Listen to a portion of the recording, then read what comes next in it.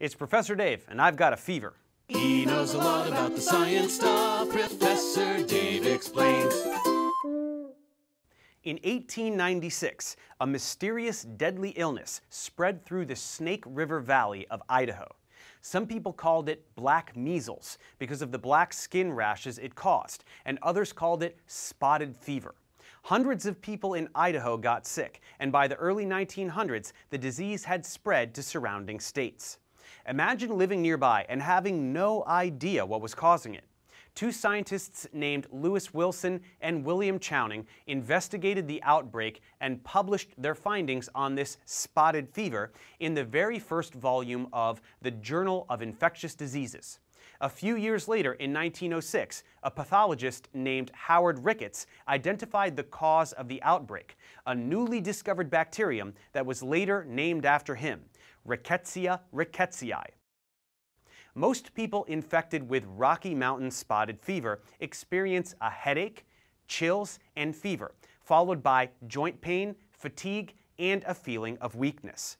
Sometime during the first week, a rash develops, beginning on the hands and feet, which can spread and become darker over time. In severe cases, patients might have brain irritation, labored breathing, or poor circulation, and some become comatose and die. Let's back up and talk about how this works.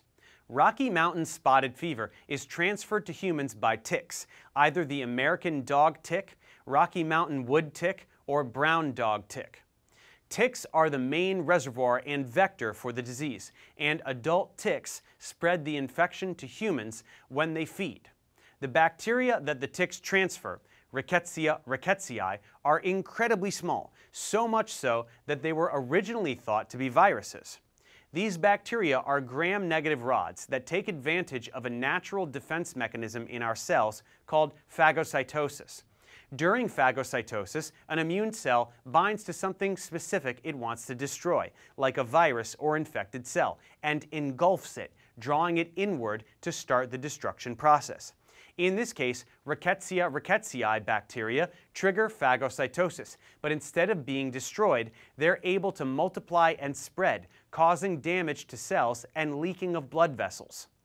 If left untreated, Rocky Mountain spotted fever can cause complications, including hearing loss, mental disability, paralysis, and even the necessity for amputation of legs, fingers, arms, or toes. Diagnosis is a bit tricky since the first symptoms you might experience are typically pretty general. However, healthcare providers can order blood tests to look for evidence of the bacteria, especially if you know you've been bitten by a tick. Rocky Mountain spotted fever is usually treated with the antibiotic doxycycline, which is especially effective when the infection is caught early. Since there's no vaccine for this disease, prevention is usually centered around preventing tick bites. Educating yourself about where ticks normally hang out and what different kinds of ticks look like, as well as treating your clothing and gear with the insecticide permethrin, can be helpful for prevention. In addition, if you're the hiking type, always check your body and clothing, as well as any pets that come along, for any ticks after an outdoor excursion.